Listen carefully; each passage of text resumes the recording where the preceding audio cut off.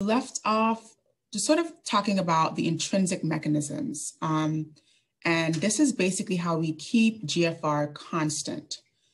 So even though our mean arterial pressure can fluctuate, we want to keep GFR at 125 um, min milligrams per minute. Um, and so essentially, we've got this idea here on the left. So this is an entirely different mechanism. This is the myogenic regulation. If we raise our mean arterial pressure, what would otherwise tend to happen is we would see an increase in glomerular capillary pressure, which would lead to an increase in GFR, right? If you were to raise mean, excuse me, raise mean arterial pressure, you would tend to see an increase in GFR as a result. What this mechanism does, which is being shown on the right here, is counteracts that. So because of that stretch on those afferent arterial cells, those smooth muscle cells, which causes increased resistance there, we then decrease the glomerular capillary pressure, which negates that rise in GFR. So essentially GFR would stay the same. Okay, it's really important to make that note here that although GFR tries to raise, we do something to decrease it and it essentially stays the same. Same thing happening on the right here, but just an entirely different mechanism. Um, if we raise mean arterial pressure, what would tend to happen if it were otherwise unchecked is we would raise pressure, raise the glomerular capillary pressure, and raise GFR. Now, in order to prevent that rise in GFR and keep it constant, we see the other mechanism here, which is that the macula densa cells detect this rise in GFR, this rise in pressure, um, because of that rise in flow rate coming through the distal convoluted tubule. Remember, macula densa cells are found in the distal tubule they will then send these paracrine signals, which are chemical signals, to the afferent arterial cells and bring about the same response. They're going to cause constriction, increase resistance, which decreases that glomerular capillary pressure and decreases GFR. So in the face of this raising GFR, we decrease glomerular capillary pressure and that keeps GFR the same. So the same response or the same outcome is brought about, but we're using two different mechanisms here, the myogenic response, um, which is the natural inherent tendency of those afferent arterial cells, versus the macula densa response or the tubulo-glomerular feedback, which is that paracrine signal being sent to those afferent cells as well. Okay. Um, so just wanted to kind of touch on that again, uh, add a little bit more clarity. And then we went through the extrinsic controls, which was basically using the sympathetic nervous system, um, where we uh, use that as an external mechanism to keep GFR constant as well. Okay. Um, let's do a few practice questions here and then we'll keep going. So let's take a minute to look at these questions. I'll give you a minute or so to read through each of these um, and then we'll talk about the answers.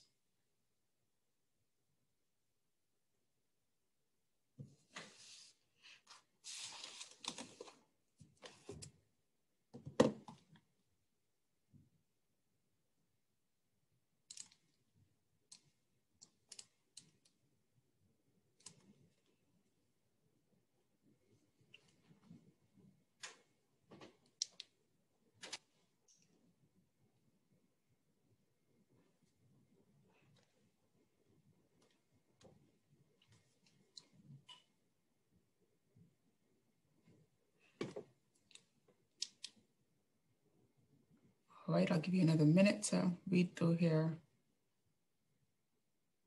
And again, when we get to these checkpoint questions, although we don't often have a lot of time to cover them, it's really important that you write an answer down um, so that when you're going over your notes, you have you know, some guidance as far as the answers here.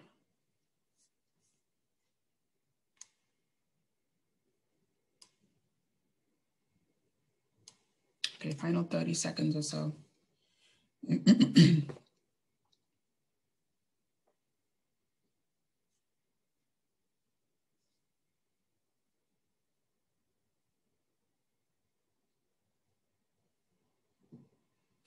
Okay, um, so let's go through these one by one and feel free to share responses in the chat um, as we go through um, so let's start with number one. So indicate whether the GFR would tend to rise or fall in response to an increase in each of the following.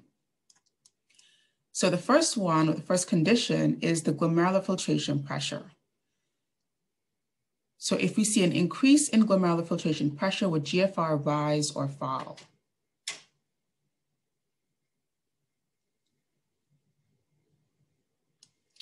GFR would rise, excellent. And that kind of just makes sense. If we have more pressure coming in, we see a higher filtration rate um, and a higher GFR. Um, the second condition, if the glomerular capillary hydrostatic pressure were to increase. So if we increase our glomerular capillary hydrostatic pressure, would we see a rise or a drop in GFR?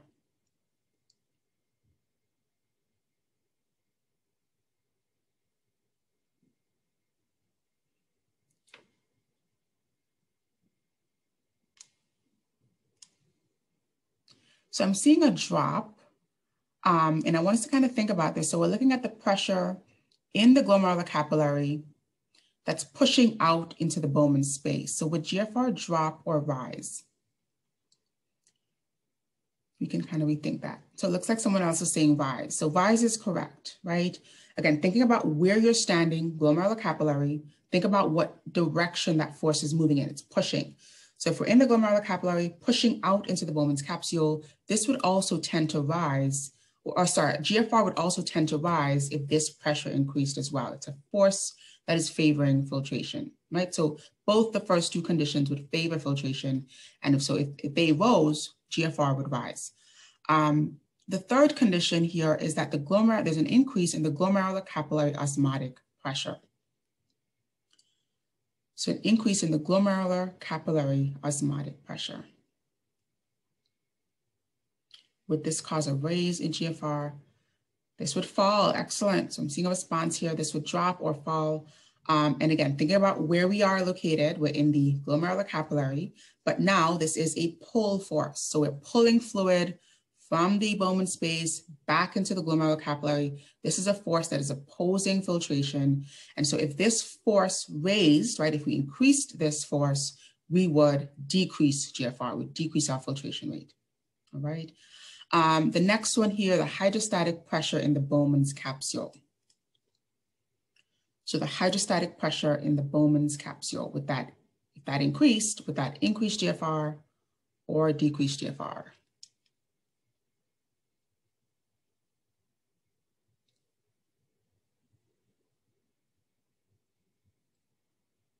Decrease, excellent. So again, thinking about, so it's really important to use this kind of mechanism when you think about where you are, we're in the Bowman's capsule, and then we think about the direction of that force. It's a hydrostatic force, it's gonna be pushing back into the glomerular capillary. And so this would be also opposing filtration. Um, so if this were to increase, GFR would decrease. Okay, it's opposing that GFR. And then the final condition here, the uh, concentration of proteins in the plasma. So if we had an increase in the concentration of proteins in the plasma, would we see an increase or decrease in GFR? And this is a little bit more of a complex scenario because you have to think about what force this is favoring, right?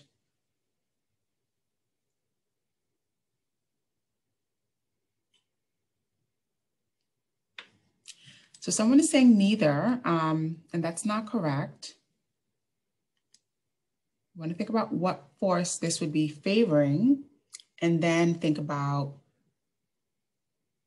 we know that proteins exert an oncotic force, so something's going to happen, right? So it's not going to be neither.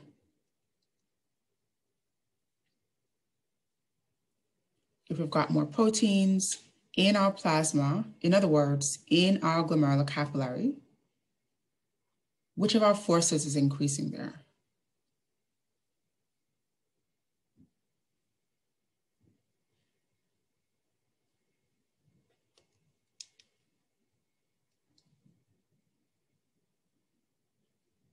So more proteins in our plasma is actually mimicking the second scenario, not the second, excuse me, the third scenario here, the glomerular capillary osmotic pressure, okay? Um, oops. Saying that the concentration of proteins, excuse me, in the plasma increases is the exact same thing as saying the glomerular capillary osmotic pressure increases, all right? And so if we had that increase in that glomerular capillary osmotic pressure, we would decrease GFR, right? That is a force that is opposing filtration, and that would decrease GFR. So it's really important to understand, although we're not seeing it in the direct terms, what force are we describing when we say that concentrations of proteins increase in one space or the other? If I were to say that the concentration of proteins increased in the Bowman space, what force would that be favoring?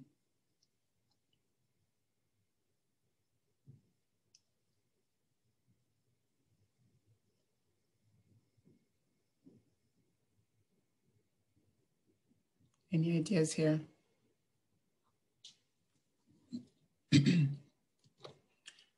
okay, so a concentration, uh, an increased protein concentration in the Bowman space, although we, although we know that that is abnormal, that should never happen unless there's some type of nephritis, some type of injury to the glomerulus.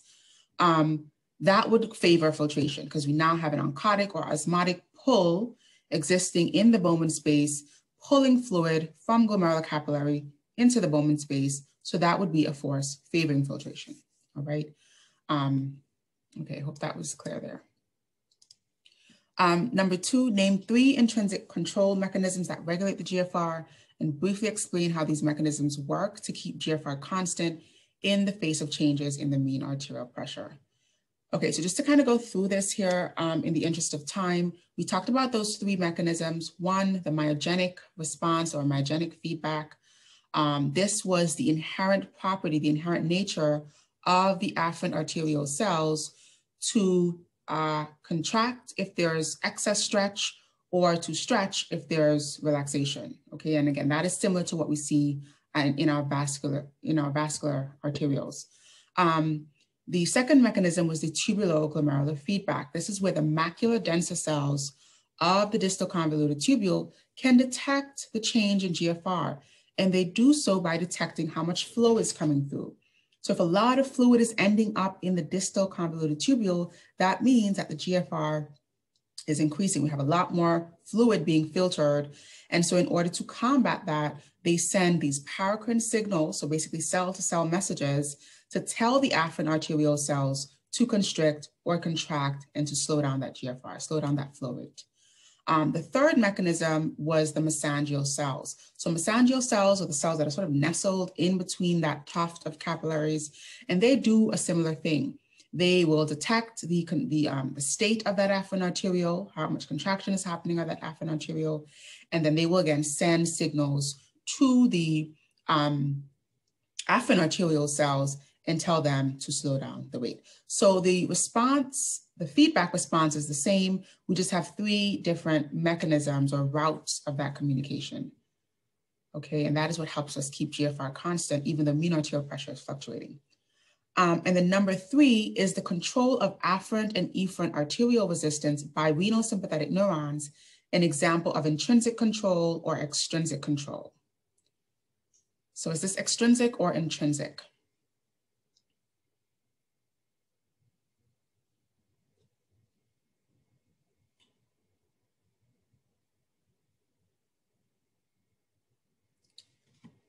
Any ideas here? So this is pretty straightforward. So this is extrinsic. Okay, when we talk about neurotransmitters, when we talk about hormones, this is a, an extrinsic mechanism of control. Um, and the why is that it's not involving the kidneys locally, right? It's involving outside influences such as the autonomic nervous system. Um, and then how does an increase in sympathetic activity tend to affect GFR? So just jumping back to this flow chart, an increase in sympathetic signal is going to tend to decrease GFR. Okay, it's going to create sympathetic influence to those vessels, the afferent and efferent arterioles. We know that sympathetic influence to any smooth muscle causes vasoconstriction. And so that vasoconstriction puts more resistance in the flow, so less fluid can actually get filtered, and so GFR decreases, right? Um, and that is, again, a protective mechanism. If we can slow down GFR, um, we can help preserve or reserve some of that fluid loss and we can correct some of the initial signals that would um, begin to trigger that increase in sympathetic activity, like hemorrhaging and sweating and so on.